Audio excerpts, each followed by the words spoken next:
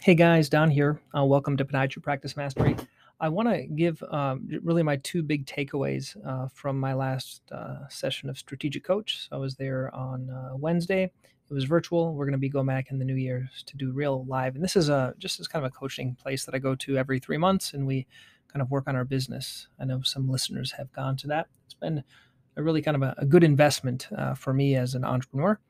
And the one of the takeaways uh, was um, putting together, I already have a spreadsheet. Let me just share. So we have a spreadsheet within Athena where I can download a, um, a spreadsheet of all the referring doctors for a year, for example, and it gives me the amount that they refer over. So I have um, those that have um, given or contributed over 10,000. I have 100 doctors. So there's a, over 100 and some are 20,000, some are 30,000.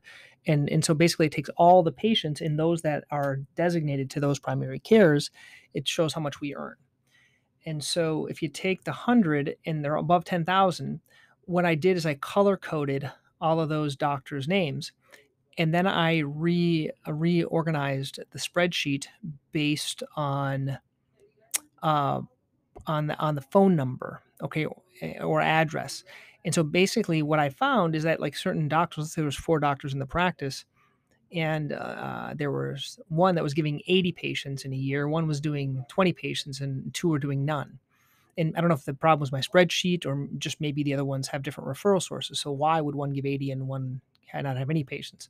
And so that's where that's where I'm going to focus my time is basically on those patients, uh, starting with the highest value ones that aren't uniform uniformly um, referring to us, and seeing how because we already have relationships, just saying, hey, can I make a set up a meet and greet with one of these doctors? So it's kind of a focal way of of really focusing on producing revenue because we're already producing from get, receiving it from one of the providers and then you know getting the other two up to snuff.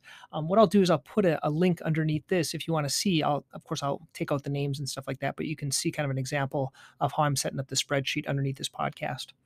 Um, another thing another great uh, idea i thought was um, with these newsletters that i'm doing once a month uh, or once a once a week these podiatry practice mastery updates. Um, what I want to do is I'm going to start including, or we're going to try it out and see how it works. But I'm going to pick one diagnosis, and basically I'm going to put together a, a Google Doc, and we all can put in our best tips. I don't know how I'm going to organize it, but I'll figure it out. And you guys can all like click on it and put your best tips in this Google Doc. Like for example, based on like diagnosis or based on like procedures. So I might do it for plantar fasciitis and kind of write down what things are working for me and then you guys can add things, um, different tips, or we could do it like for shockwave or laser or things like that. Different ways of I don't know I don't know how to uh, how we're going to s- schedule it or organize. But that was a neat idea because we could have more collaboration without taking up anyone's time.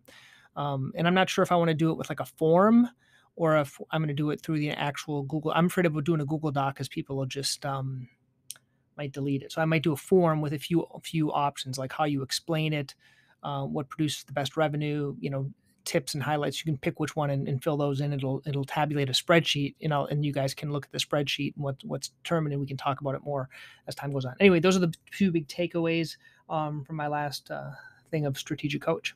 Okay, guys. Oh, last thing uh, about delegation. Um, so there's about 50 people in in the in the in the class. I took a screenshot and then I sent that screen screen, to, screen screenshot to Fancy Hands, and then they looked up everyone's names on LinkedIn, so I could connect with all those people after LinkedIn. So it's just kind of a neat way of using a virtual assistant as well. Okay, guys, hope this helped. Bye bye.